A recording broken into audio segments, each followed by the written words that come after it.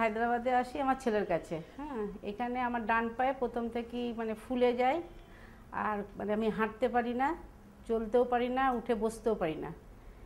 তারপরে আমার ছেলেকে এসে বলল যে তোমাকে অ্যাপেলো হাস মানে নার্স হসপিটালে নিয়ে যাওয়ার জন্য।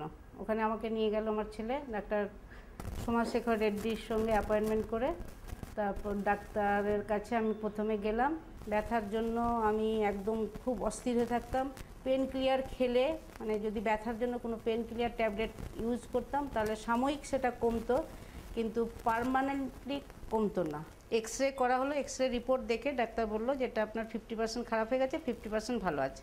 তো যেটা ভালো আছে, সেটা যাতে আর নষ্ট না হয়, তার জন্য আমাকে উনি যে ওষুধগুলো দিলেন, সেই ওষুধগুলো রেগুলার খাওয়ার জন্য বললেন, আর হ্যাঁ ওয়েটের জন্যই আপনার এই প্রবলেমগুলো হচ্ছে।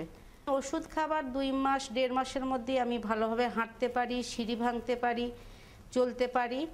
কিন্তু আমি আগের থেকে অনেক বেটার ফিল করছি। দু সালে নভেম্বর মাসে আমি হায়দ্রাবাদে এসে ডাক্তার অ্যাপেলো হসপিটালে ডাক্তার দেখাই। এখন আমি আবার সাত মাস পর আবার আমি হায়দ্রাবাদ আসি।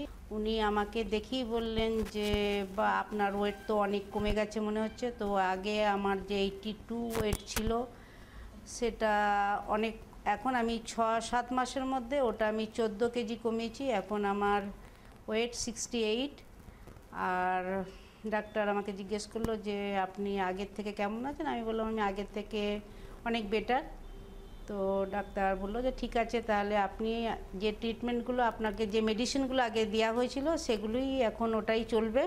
এছাড়া ডাক্তারবাবু আমাকে ফিজিওথেরাপি করার জন্য অন্য ডাক্তারের কাছে আমাকে অ্যাডভাইস দেয় এবং রেগুলার এক্সারসাইজ করার জন্য অ্যাডভাইস দেয়। খাওয়া এবং এক্সারসাইজ দুটোই দরকার, যেটা আমার ওয়েট কমাতে আমাকে সাহায্য করেছে। এবং আমি শুধু সুস্থ আছি ঠিকই, আমি অন্য যারা এই রোগে ভুগছেন বা ভুগবেন মানে ভুগছেন, তারাও যদি এইভাবে এটা মেনটেন করে থাকেন, তাহলে তাদের, আমার মনে হয় তারা এটা এটাতে সুফল পাবেন। আগের থেকে আমি এখন অনেক ভালো হ্যাঁ। সব কাজই আমি করতে পারি, বিনা লোকের সাহায্য ছাড়াই আমি এই সমস্ত কাজ করতে পারি।